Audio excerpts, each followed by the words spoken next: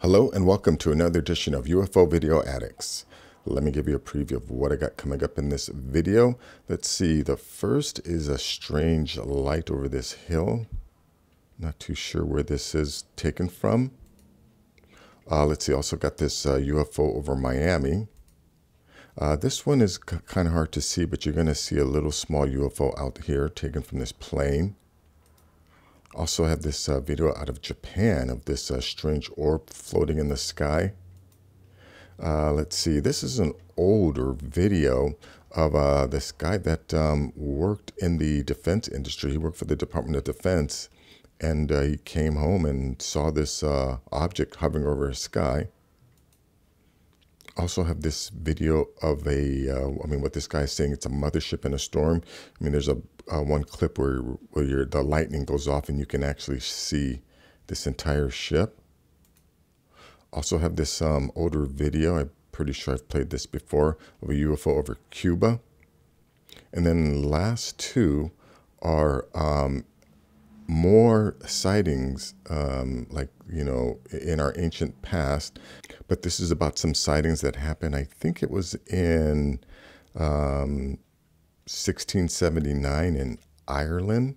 And then and the last one here is about a possible UFO sighting in uh, 1767 in Scotland. So, you know, like uh, Lou, Lou Elizondo has said, these things have been with us for a long time. Uh, but anyways, uh, let's go to this video here. Let me go full screen.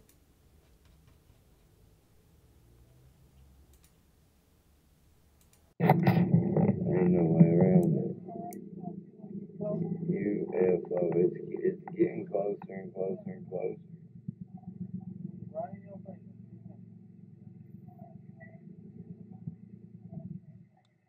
Yeah, that ain't no airplane you give a damn who you think you are and think you know about airplanes. That is not a effing airplane. Let me just jump because at the end, this thing does something kind of in, uh, interesting. Anyways, let me just jump ahead here. Check this out.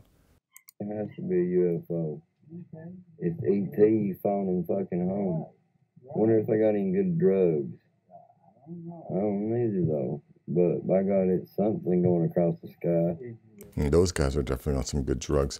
Anyways, uh, let's go to this other video here. Now, this one was taken in Mi Miami very, very recently. Check this out. Let me go full screen.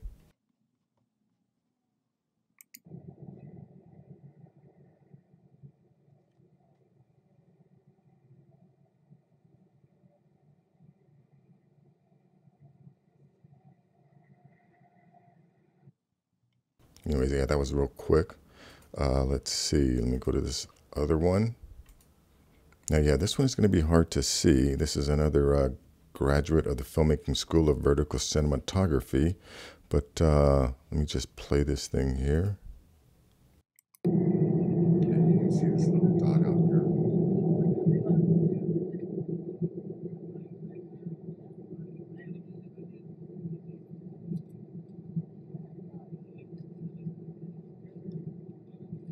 Anyways, that's uh, yeah, hard to see. Definitely uh, check out the link in the description to see that one better.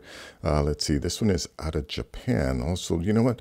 Uh, interesting, this only has five views, even though it's been up since November 15th. You know, I really, I know uh, YouTube really suppresses these UFO videos, so it'd be great if you guys could, uh, you know, subscribe, like, and share these things, because I think, I think when the more people finally realize that um, you know we're not alone. The I think things will finally start to change because I think you know we, we, all need to be on the same vibrational level, and uh, you know I, I definitely uh, get or understand how there are a lot of people who just aren't ready to accept this information. So you know it's really hard to to to approach people and um, to talk to them about it. But uh, you know maybe if you share videos with them, uh, they'll come to realize it. Anyways, check this out.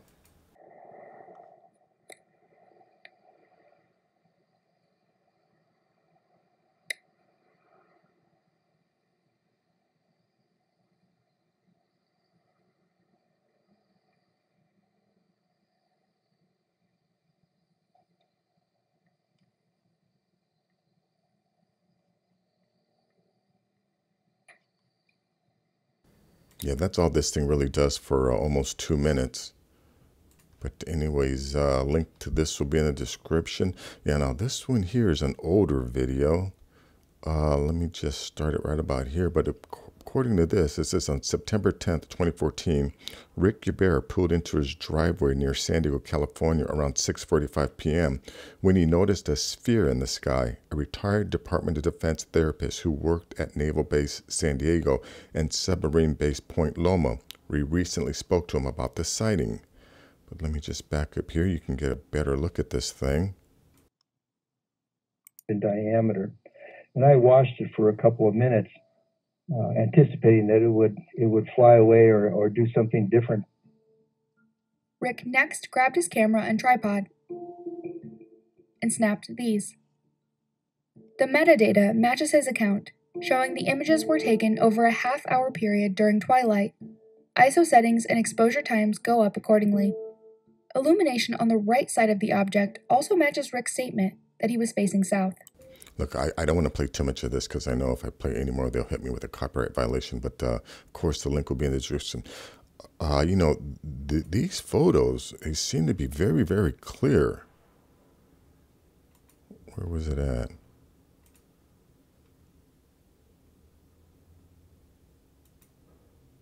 Yeah, look at that. Oh, this is an, an enhanced version submitted to MUFON 2014. That's definitely some kind of probe. But anyways, uh, link to this will be in the description. Let me go to this video here. Yeah, now this one here, like I said, it's a minute and 25, and all you really see is this thing here until near the end when there's a, uh, a lightning flash. Actually, let me just play it from here.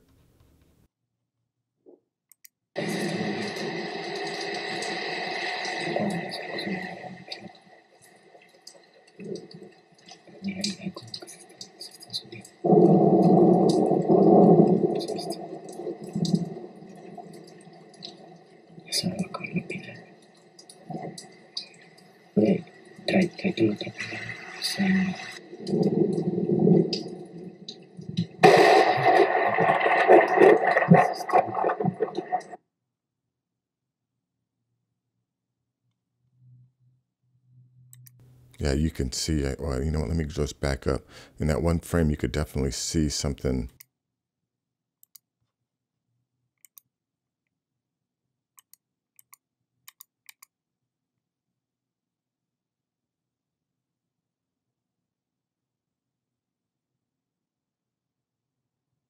Yeah, look at that. You can see clearly see the outline of this thing here and with these lights on it. But uh, you know, that's all I want to play this video. Link will be in the description. Please check it out. Uh, let's see. Now, this is an older video. I've definitely played this one before. Uh, let me just go back to or start right when it begins its change. Because at first it's just this ball here. It's kind of, actually, it's kind of out of focus. Yeah, all, all of this in here is, is uh, it's out of focus.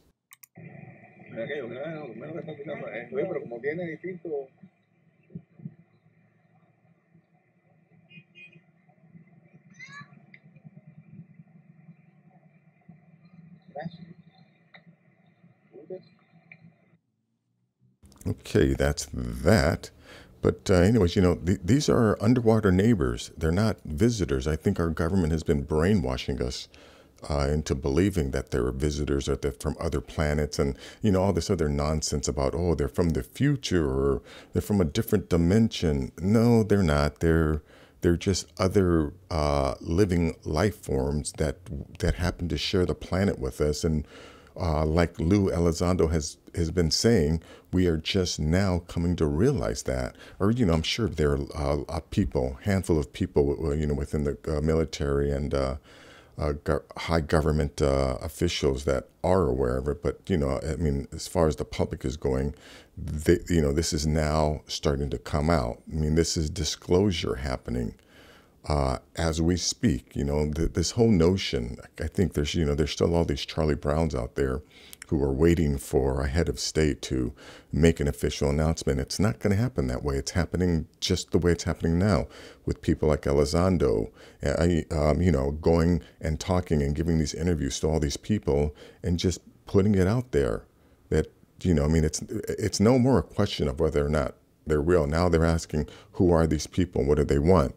Um, of course, I think that you know there's definitely people within the government again who know and who are in control who who don't want to reveal those things, but you know the public is is starting to learn. You know, we don't have to wait for uh, a head of state. This information is out there. You just have to be willing to go out and find it and and present it to people. But anyways, um, check out this uh, article here about uh, a, a, sighting in, in Ireland.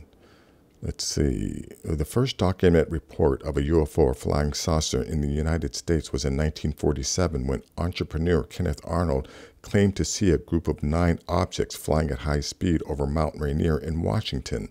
The same year, the Irish Defense Forces began its dossier of unexplained phenomena in the skies, but almost 300 years prior to this, 16 residents of Town in Tipperary, I'm not sure if I said that right, uh, attested to their eyewitness accounts of the divers and most strange and prodigious apparitions seen in the air. In the latest De Burca Rare Book Catalog, an extremely rare copy of this book, which recalls the sightings of something like a ship, relates the accounts given by a uh, McC. Hewiston and a Mr. R. Foster, along with others who saw the unidentified flying objects. Printed in 1679 on marble boards, the good copy is listed at C 1750. I don't know what that means. But, anyways, yeah, they've been seeing them, you know, these objects for a long time. And uh, here's another uh, expert. This is like a, a correspondence between two people. I'm not too sure who these people are, but this is from um, stanford.edu. It says, uh, Hello, as a doctoral student in humanities, I've been spending much time reading 18th century British periodicals. In one of them, I have found a report of an unexplained phenomenon somewhere in Scotland. I leave it to your judgment and experience to decide its merits as a UFO sighting. I do not have an active interest in UFO research, though I do believe in the existence and benevolence of our space brothers. Consequently, I would appreciate your not getting back to me. All the information I have is given below, and my only desire is simply to make it available to you. Thanks. So I don't know who this person is or why you know he decided to send it to this individual, but anyways, uh, he says here extracts of a letter from Edinburgh, September 8th. We hear from Perthshire that an uncommon phenomenon was observed on the water of Isla near Coupar Angus, preceded by a thick dark smoke, which soon dispelled and discovered a large luminous body like a house on fire, but presently after took a form something pyramidal and rolled forward with impetuosity till it came to the water of Ericht, up which river it took its direction with great rapidity and disappeared a little above Blairgowrie. The effects were as extraordinary as the appearance. In its passage, it carried a large cart many yards over a field of grass. A man riding along the high road was carried from his horse, and so stunned with the fall as to remain senseless a considerable time. It destroyed one half of a house and left the other behind, undermined and destroyed an arch of the new bridge building at Blairgowrie, immediately after which it disappeared. As few appearances of this kind ever were attended with like consequences, various conjectures have been forming concerning it.